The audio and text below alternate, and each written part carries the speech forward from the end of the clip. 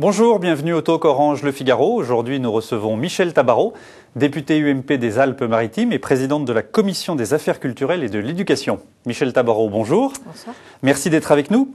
Le président de la République tenait une conférence de presse ce matin sur les questions internationales. Je vous propose d'en écouter un extrait. Sans doute nous avons sous-estimé, nous la France, cette aspiration de nos amis tunisiens à la liberté, c'est pas de soi. Mais en même temps, restons sur une prudente réserve très amicale à l'endroit du peuple tunisien. Je ne dis pas que c'est simple pour autant tout ceci. Et j'en vois beaucoup qui savaient exactement ce qui allait se passer, mais qui auraient gagné à nous le dire avant. Ça nous aurait permis d'éviter sans doute des approximations. La France a sous-estimé alors les, aspirations à la liberté? La France a sous-estimé, le président le, signalait aujourd'hui. Euh, la, situation, euh, eh bien, le, le, peuple a souhaité que, les choses évoluent, que les choses aillent vers, euh, la démocratie, vers plus de démocratie. Je crois qu'on doit malgré tout rester très vigilant, euh, puisqu'il y a des tentatives, bien entendu, de certains groupuscules pour prendre le, pouvoir euh, maintenant qu'il règne un, certain désordre. Et, je crois que lorsque le président dit euh, très justement, donc il y a ce, regard bienveillant vis-à-vis -vis de, la, de, la, Tunisie, il faut garder quand même en tête eh bien qu'il qu n'y ait pas de, de groupuscules qui, prennent le pouvoir et qui la déstabilisent totalement le pays et cette zone géographique qui est très importante pour eux. Demain, le ministre de l'Éducation nationale, Luc Châtel, va se voir remettre un pré-rapport sur les rythmes scolaires qui préconisent plutôt leur évolution. Alors, premier élément, est-ce que vous partagez le constat de ce pré-rapport qui dénonce une journée trop longue et fatigante, une semaine épuisante à l'école primaire et une année scolaire déséquilibrée? Oui, écoutez, j'ai eu le, le, plaisir de présider une mission d'information donc euh, il y a quelques semaines maintenant sur les rythmes scolaires. Et ensuite, donc, le, le ministre a créé cette, ce comité de pilotage national auquel j'appartiens, je, je m'en réjouis. Je crois qu'on arrive euh, là à un moment où on doit prendre des, des décisions importantes pour la, la, scolarité de nos enfants. Nous avons, c'est le pays, la France est le pays qui a le, le, les vacances les plus longues, les journées les plus les lourdes, plus les semaines euh, les plus les plus denses pour pour les enfants. Et, et donc nous avons véritablement la nécessité de d'oser d'oser prendre des décisions courageuses. Les chronobiologistes, les spécialistes de l'enfant nous encouragent tous à le faire. On voit que les enfants ont des résultats qui sont assez médiocres au niveau de leur scolarité. Donc bien entendu, les rythmes scolaires ne vont pas tout changer, mais les rythmes scolaires influent sur la scolarité des enfants. Il faut le prendre en considération. Donc je soutiendrai avec beaucoup de plaisir le ministre lorsqu'il sera appelé à prendre des décisions. Alors justement, là, on en est qu'au stade du pré-rapport. Il va y avoir des, à partir de demain la remise de ce pré-rapport qui aboutira à, d'autres, à un autre rapport avec des conclusions. Parmi les, les, thèmes, il y a la semaine de 4 jours. Vous êtes favorable à, à, la suppression de la semaine de 4 jours, à un retour dans le primaire à 4 jours et demi, voire 5 jours? Absolument. Favorable donc à 4 jours et demi, favorable donc à un mercredi matin travaillé, un week-end libre. C'est vrai que la mission s'est posé des questions sur le mercredi matin ou sur le samedi matin, mais il me semble à titre personnel euh, qu'aujourd'hui les, les, familles ont besoin de se retrouver le, le week-end. Euh, pour certains, eh bien, on passe la semaine chez un parent, le week-end euh, chez l'autre parent. Mm -hmm. Donc je pense qu'il faut respecter ce, ce, temps de la famille aussi. Hum, par contre, on sait que d'arrêter le, le, mercredi, ça veut dire un mardi soir où on se couche plus tard, un mercredi matin où on se lève tard, et ensuite une semaine où on est totalement on désynchronisé. Donc pour l'intérêt de l'enfant, effectivement, le mercredi matin à l'école, eh bien c'est une bonne chose. Et les réductions des vacances d'été, comme c'est envisagé?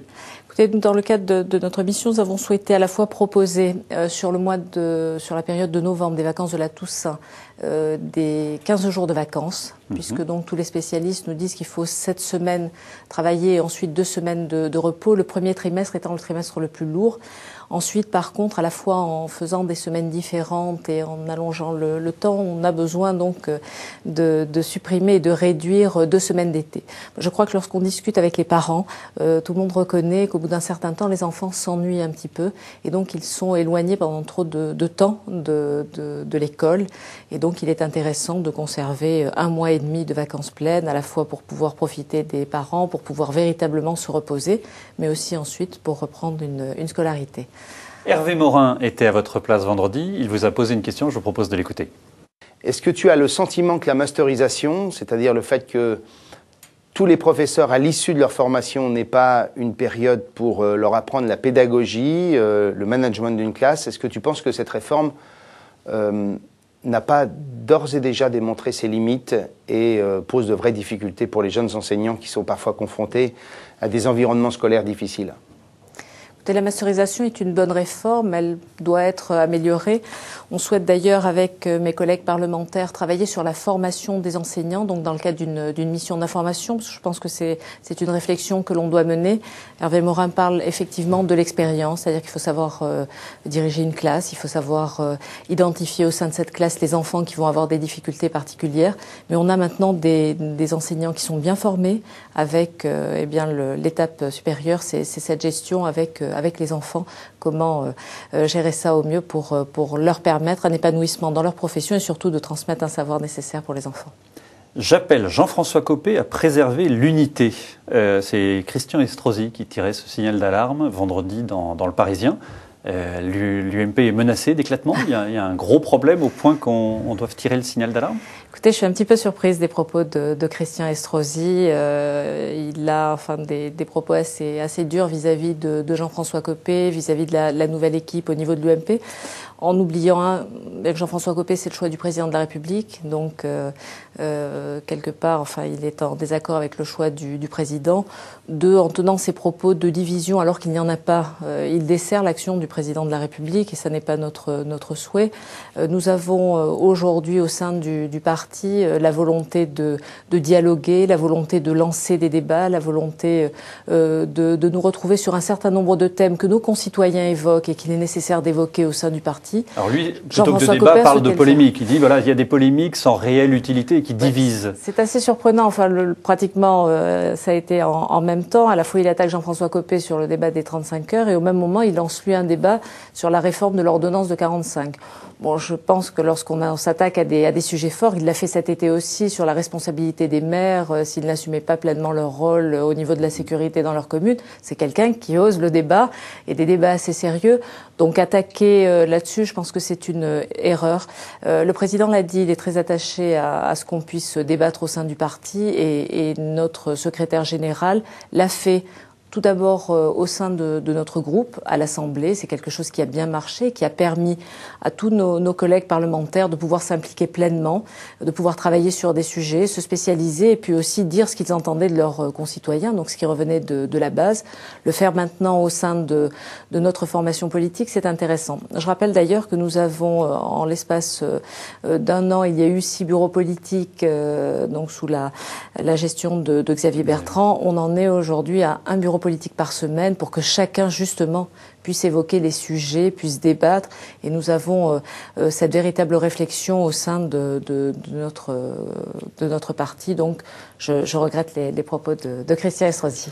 En même temps, depuis, depuis la prise de fonction de Jean-François Copé, c'est vrai que Jean-Louis Borloo euh, a renoncé à ses fonctions dirigeantes, Ramayad est parti pour le Parti radical, euh, le porte-parole Dominique Paillet euh, n'a pas été reconduit dans ses fonctions.